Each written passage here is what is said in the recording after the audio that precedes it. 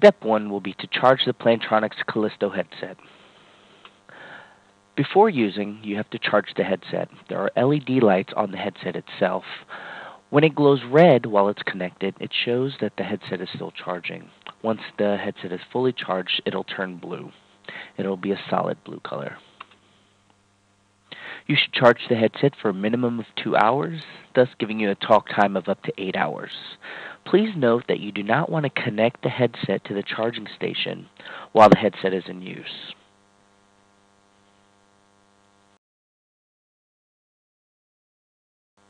Step 2. Pairing the headset with the USB Bluetooth adapter. Now keep in mind the headset and the Bluetooth adapter are paired to each other at the factory. However, if you've purchased a Bluetooth adapter separately, or if you wish to use a replacement headset with your existing adapter, then you have to repair the units. If you did purchase the two units together, meaning the headset and the adapter, please feel free to skip to step number three. Otherwise, to begin pairing, insert the USB Bluetooth adapter in any open USB port on your computer. Then, put the headset into pairing mode.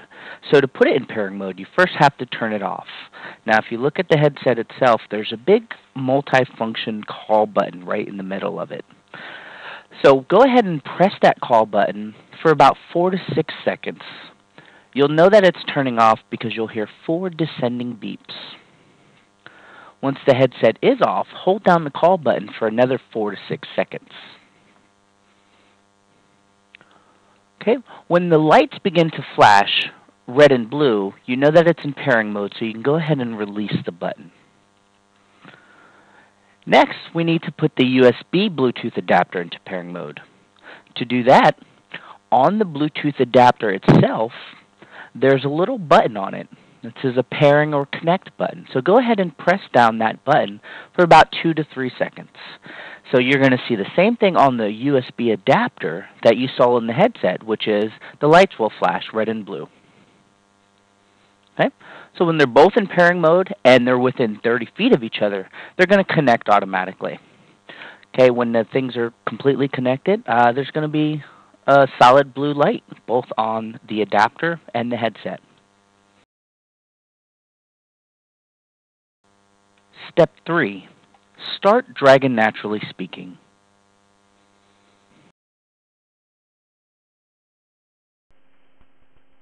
To start Dragon Naturally Speaking, go to your Start menu, then All Programs. We're going to look for a folder called Dragon. Just going to open up subfolders. In this case, I have Dragon Naturally Speaking Medical 10. That's the one I'm going to open. Otherwise, if you have an icon on your desktop, simply locate it on your desktop and double-click it to open. If this is the first time you've opened Dragon Naturally Speaking, a new user wizard will appear.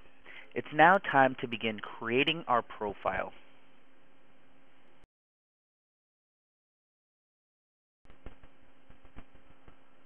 Step 4.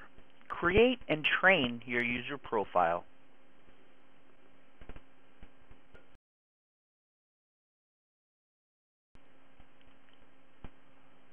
The new user wizard will assist us in creating and training our user profile for Dragon Naturally Speaking. To begin, enter your name in the Your Name field. Various editions of Dragon Naturally Speaking have different language and accent options. I'll keep mine as the default. Important to remember here is a dictation source. Now we're using the Plantronics Calisto headset, so we need to make sure that the dictation source is marked as Bluetooth microphone. To do that, open your list, go down to Bluetooth microphone. Once you've made the appropriate selections, click Next.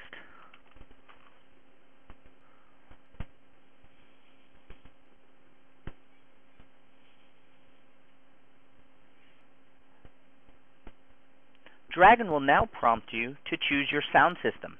It's important that you choose Microphone Plantronics BT adapter as that's the Bluetooth adapter we'll be using. Once you've made your selection, click Next. You'll now be asked to position your microphone. Basically, make sure that the headset's on. um, either the left side or right side. It's your preference. And uh, click Next. Okay, we'll be asked to do a volume check. Essentially, we click Start Volume Check right here. And uh, this text will appear black. Just read until we hear a beep. In this step, the computer listens to the sound of your voice and adjusts the volume setting of your microphone. When the computer has finished adjusting the volume, it beeps the signal that the process is complete.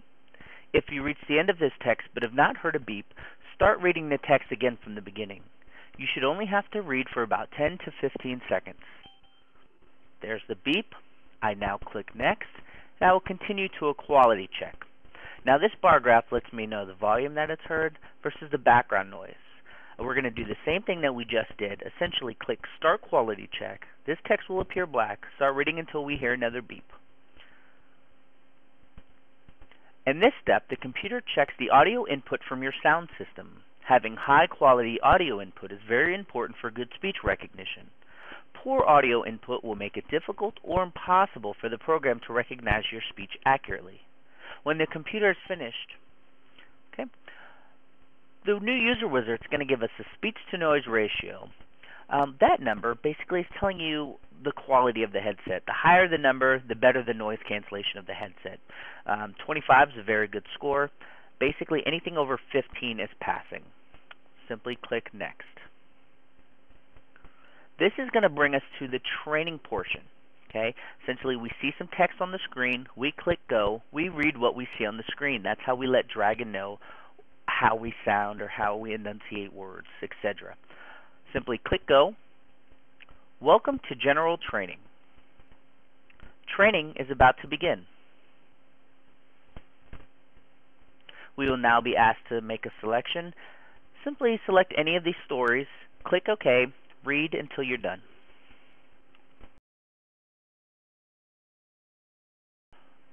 When you finish reading the training text, a congratulations window will appear. Simply press OK. You will now be prompted to adapt your user profile.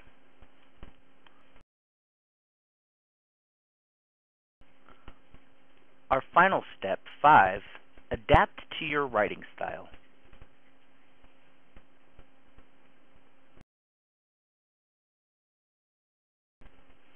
Dragon will now prompt you to adapt to your writing style. Essentially, it'll scan your email and documents to help improve and build your vocabulary. Simply click Start to begin.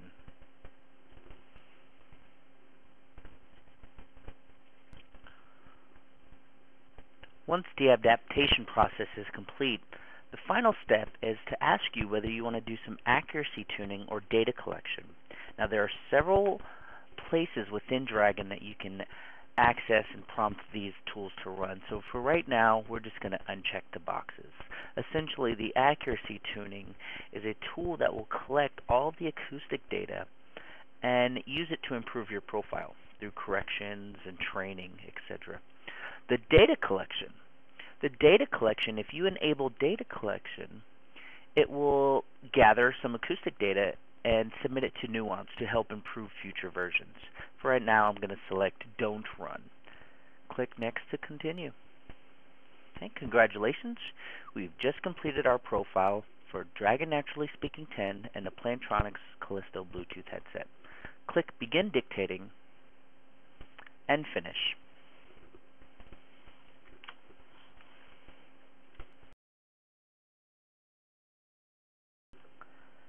If you're interested in becoming a reseller of Nuance or Plantronics products, or if you're interested in receiving additional training, please do not hesitate to contact us. My email is josh at edist.com or visit our website at www.edist.com.